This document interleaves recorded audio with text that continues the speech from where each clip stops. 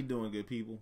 This is the 8-Bit Animal, and another day, another movie tie-in. And actually, this is like the second game in a couple of days where we're going to talk about something based on something Robin Williams was in.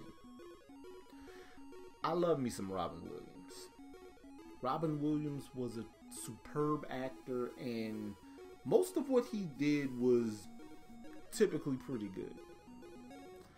This movie, for whatever reason, just ain't it, it wasn't it. Just wasn't it. Um, and that's wild because a lot of star power in this movie. The game, at the same time and by the same token, was a mixed bag depending on what what um, version you got. See, you got Super Nintendo. The Super Nintendo version is fantastic. The Sega CD version is basically the Super Nintendo version, but with a lot better audio.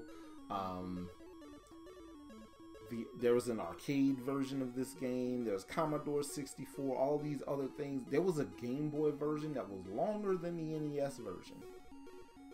And then there was the NES version. And the NES version was painfully disappointing. Um, this was released in 1992. And yeah, this one was a. This one just. It hurt. It cut me. And I bled. Today we're going to take a quick look at Hook. Now, I don't remember much about the story for this game or this movie, any part of it. I don't. I played different versions of this. The Super Nintendo one is probably my favorite because of the similarities to one of my favorite Super NES games, and that's Sky Blazer. Oh yeah, this was published by Sony ImageSoft. Because Sony ImageSoft was kind of hit or miss when it came to the stuff that they published. But when they were on, they were on.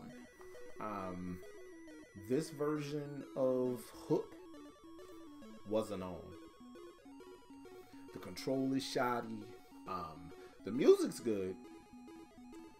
It's bright and colorful. That works.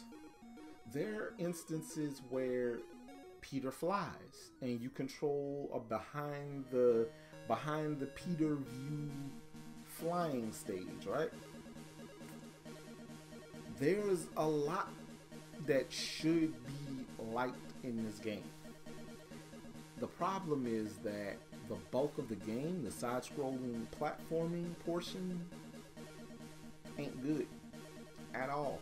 It's terrible, actually.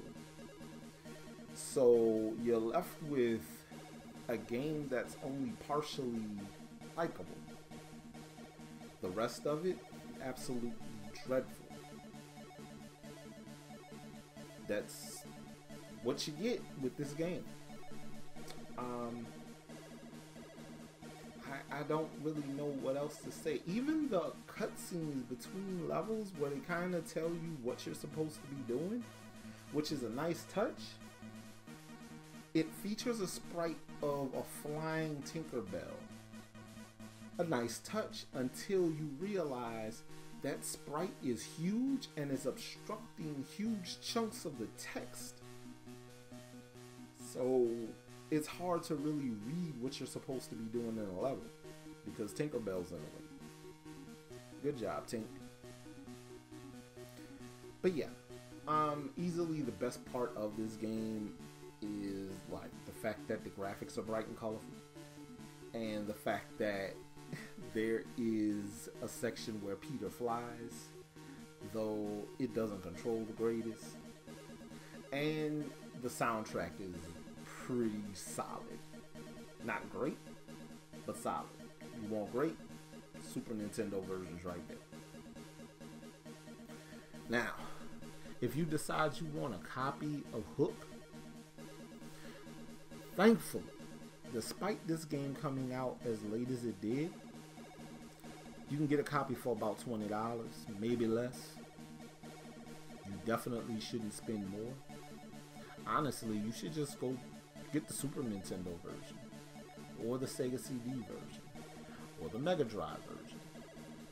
Stay away from the NES and Game Boy versions of this game.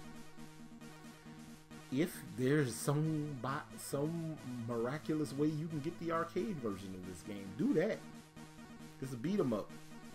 You'll like it. Just stay away from this NES version. It hurts. It cut me deep. It felt bad. And I think it stinks a little bit. Like literally smelly. It smells like old bologna.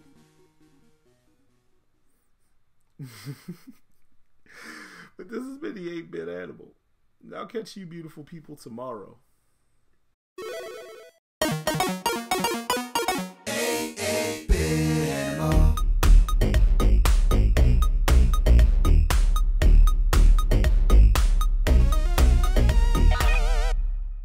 tomorrow. So this is basically Pac-Man meets Tower Defense meets Atari's Combat. Okay.